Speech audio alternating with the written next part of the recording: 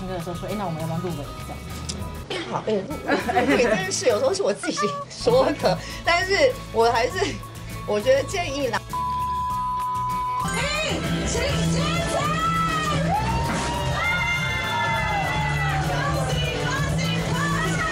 真的是男生真的会想要想要怎样？直接就是一起跟你一起擦，对 废话，多久没跟人家亲？对啊，你亲什么亲啊？你你过来，现在马上跟你亲啊！我没有跟男朋友亲啊，跟没有，我跟你说，就是，哎，这种东西就是，如果你只要打扮很漂亮，男人永远不会少嘛。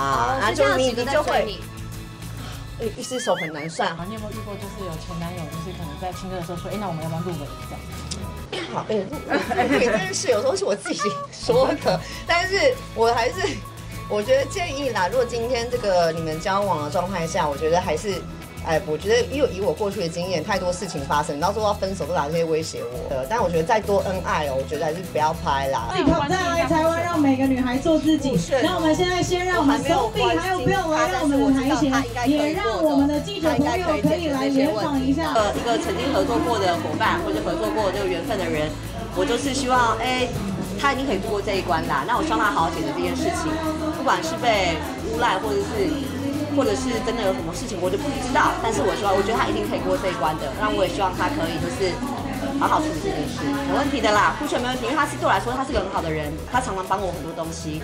之前有跟另一半有拍那些影片的时候，有遇过这种威胁的？早期啦，二十岁的我都上法院了呀，整台电脑如果爆出来，把拿斧头都砍掉了啊，等他手机被我全部弄掉了呀。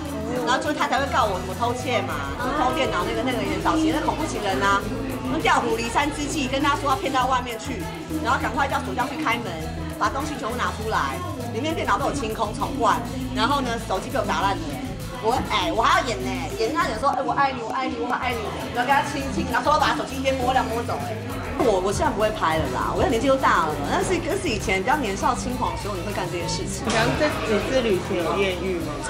艳遇本来就对啊，我跟你讲，我每天都有啦。国外的时候，那男生就是很很喜欢我外观，喜欢我怎么样，他不太了解我个性嘛。但可能国外男生也比较喜欢我这种个性的，所以呢，我们的我就是很多男生会来服务我啊，会帮助我啊，协助我啊。但如果想看什么艳遇的话，都在我们 YouTube 频道里面。我们 YouTube 频道即将花四十万了哦，请大家按赞、订阅、开启小铃铛。没有也都玩过了。找个男朋友，你你给我啊，就是你就享受啊，可能啊这个男生或是会对你的好，我觉得就是观察嘛，任何就是观察嘛。你说女人不怕没有男人追好吗？我也我我从来也不会没有男人追，就来一大把的，但是呢那一大把从哪里去筛选出来，嗯或是你从哪里去呃呃找到自己真的真心喜欢的，我觉得那个是每个女人的课题啦。栗子还好，栗子栗子真的，栗子我们也很努力啦。接近过了，就是他已经十二岁了，他就是我那时候二十岁那个恐怖情人买给我的。啊！因为突然之间病发的时候，他正在陪我录影，然后拖着很虚弱的身体，我觉得我很心疼。对，以后栗子录影我们不再接了，我不要，我不想他那么辛苦，我希望他晚年可以过得轻松快乐的生活，让让让让他这辈子都无忧无虑，然后不要有痛苦。